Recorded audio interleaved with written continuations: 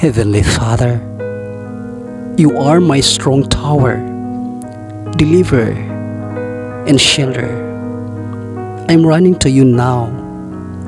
Please renew my strength. Please lead me with your Holy Spirit and guide my day. Father, when the storms rage around me, I can always run to you and rest.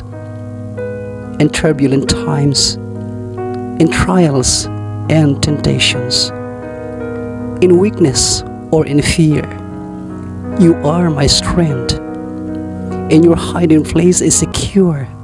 Dear Lord, I am calling upon you today for your divine guidance and help.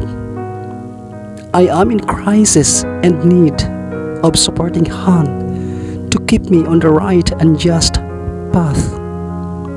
My heart is troubled, but I will strive to keep it set on you. As your infinite wisdom will show me the right way to adjust and right resolution. Lord, I pray not for tranquility, nor that my tribulations may cease.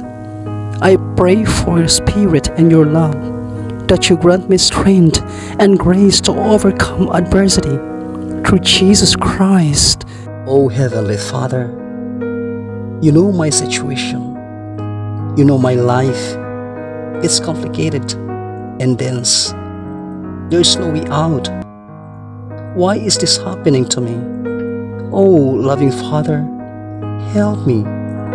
I need you so much right now.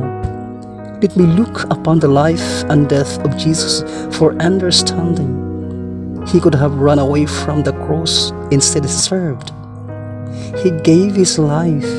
Let me know Christ, O Lord. Help me understand all the answers are in him. In knowing Jesus, I become more like him. I am transformed. Service, suffering, and pain transform into glory. Only the Spirit can resurrect me. Nobody says how I struggle. Nobody but you, O merciful Father.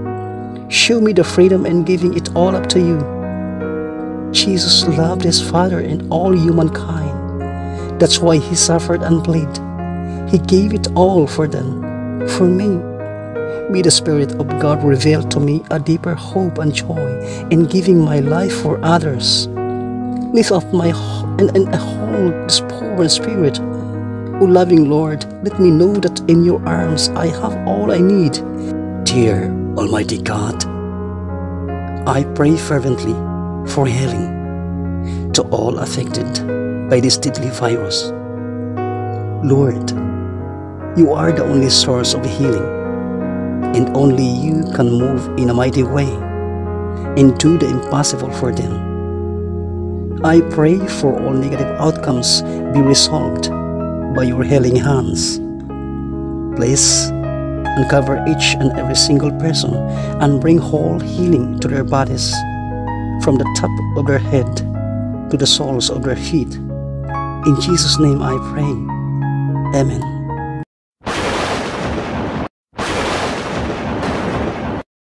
Ask, and it will be given to you. Seek, and you will find.